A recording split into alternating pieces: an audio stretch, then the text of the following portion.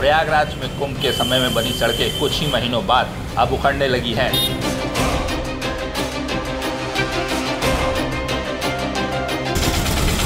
शहर में जगह जगह सड़कों पर गड्ढे होने से पानी भी लगने लगा है। गौर करने वाली बात यह है कि इस साल की बारिश को बहुत अच्छी नहीं कहा जा सकता है। फिर भी सरकार के दावों की पोल खुलने लगी है।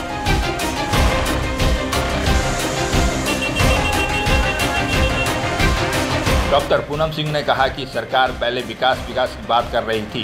प्रयागराज में सुंदरीकरण का दावा किया जा रहा था, लेकिन लगता है कि इसमें बड़ा घोटाला हुआ है। सड़क आवागमन का अहम ज़रिया होता है।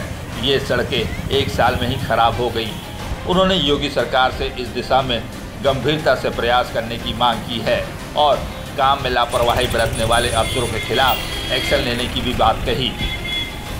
देखिए हम लोग जो आम जनता है क्योंकि हम लोग का एक आ, सड़क सड़क या रोड जो भी है आवागमन का एक महँगा ज़रिया होता है। और हम लोग ये देख रहे हैं कि अभी ये सड़कें मात्र एक साल हुआ है जो सरकार जो है एक विकास विकास चिल्ला रही थी कि पूरे प्रयागराज में जो है एक इन सड़कों रोड का और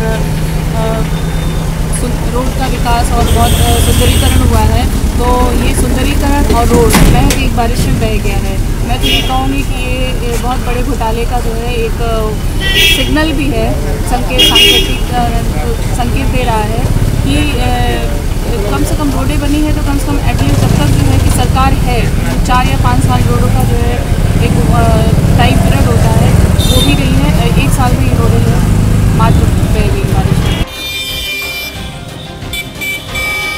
आपको बता दें कि योगी राज में प्रदेश सरकार गड्ढा मुक्त करने की बात कहती है, पर स्मार्ट सिटी प्रयागराज में जगह जगह गड्ढे दिख रहे हैं। इसको लेकर आंदोलन भले ही नहीं हो रहे हैं, पर लोगों में कहीं ना कहीं नाराज़गी ज़रूर है। एक्चुअली हुआ क्या कि कुंभ मेला के समय में जिस तरीके से ताबड़तोड़ काम कराए गए सरकार की प्राथमिकता थी कि जल्दी से जल्दी काम हो जाए। न उन्होंने गुणवत्ता पर ध्यान दिया न उन्होंने क्वालिटी पर ध्यान दिया कि काम कैसे होगा। केवल लीपा पोती की गई। लीपा पोती का परिणाम ये है कि आज जगह जगह गड्ढे हो गए हैं बड़े बड़े सड़कें नाले में तब्दील हो गई। दुर्भाग्य है कि जनता के पैसे का जिस तरीके से बर्बादी की गई है भगवान इनको माफ़ नहीं करेंगे मुकुंद तिवारी ने बड़े दावे के साथ कहा कि मानक के अनुरूप काम नहीं होगा तो गड्ढे दिखेंगे ही। उन्होंने कहा कि कुंभ के नाम पर बहुत बड़ा घपला घोटाला हुआ है। अगर इसकी उच्च स्तरीय जाँच हो तो कई अफसर और मंत्री जेल में होंगे। उन्होंने कहा कि हर चौराहे पर जल भराव हो रहा है, सड़कों पर गड्ढे हैं। उन्होंने कहा कि ये उत्तर प्रदेश का दुर्भाग्य है कि हल्की सी बारिश में प्रयागराज की हालत बद से बदतर हो गई है। जब मानक के अनुरूप कार्य होंगे रही तो गड्ढे तो होंगे ही। जब ये कार्य चल रहा था, चूँकि उस समय मैं स्वयं शिकायत किया था अधिकारियों से कि जो कार्य हो रहे हैं, में घपले और घोटाले प्रतीत हो रहे हैं।